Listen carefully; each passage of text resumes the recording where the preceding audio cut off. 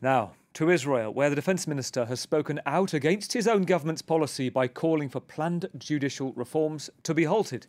Yoav Gallant said the continuing mass protests against the proposals were causing deep divisions, which he claims are affecting the fighting capability of the Israeli Defence Force. Opponents against the controversial reforms fear they will undermine the country's democratic institutions, and two Israeli cabinet members have since called for defence minister's dismissal accusing him of disobeying orders. Well, this is what Yoav Gallant had to say.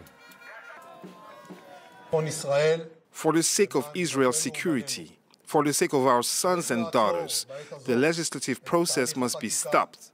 For the sake of our security and our unity, it's our duty to return to dialogue and to remember that we are all brothers.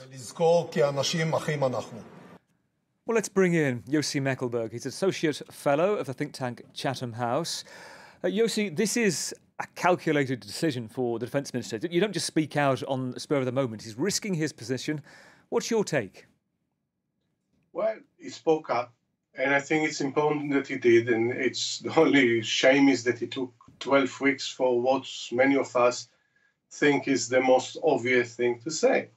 Uh, Netanyahu would have never should have been in a position forming a government while he faces corruption trial on, on serious uh, allegation of bribery, fraud, and breach of trust.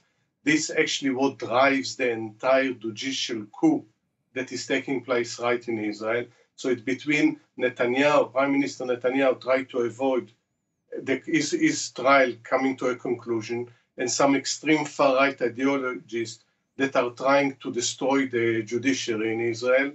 Uh, the result of it is a split within the nation and 12 weeks of, of protest. And as as it happens on Thursday, Netanyahu actually told told the court, told the nation that he's not going to listen to the Supreme Court. He's violating actually an agreement that it won't deal with issues of conflict of interest between Israel and the legislation with the judiciary.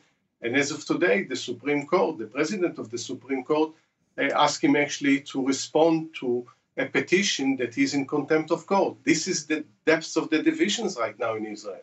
But when you have so many issues in a collision course at the moment, protests on the streets, you know, in 11th, 12th week, protesters saying that they bring the cities to a halt, you have this minister speaking out. At the same time, other ministers on the far right, albeit, saying that he needs to be dismissed from office. So what gives? Is it his job or could he lead to potentially encouraging a reform and, and well, encouraging the government to stop the planned reforms? Well, it's a great question, and I think the key is in Prime Minister Netanyahu's hand. Which direction is he going? Let's let's make it clear. Prime Minister Netanyahu doesn't believe one iota in this in this so-called judicial reform. He's doing that for one reason, one reason only: to get off the hook of his corruption trial.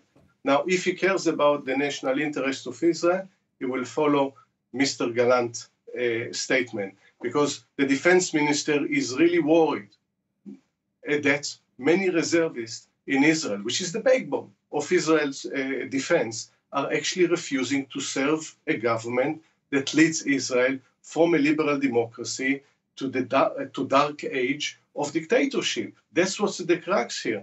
At the same time, high-tech people, which again, this is the, the spine of Israel economy, uh, they're moving their money out, they're moving their companies out.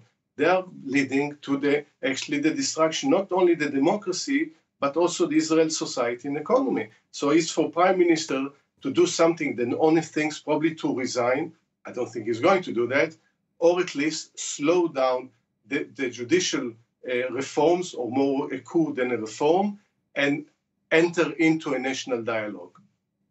And briefly, you know, we, Benjamin Netanyahu given a speech this week, televised address, saying that he's listening. He wants to come up with a solution that uh, satisfied all sides, including the, the, protesters, but says he will go ahead with these reforms.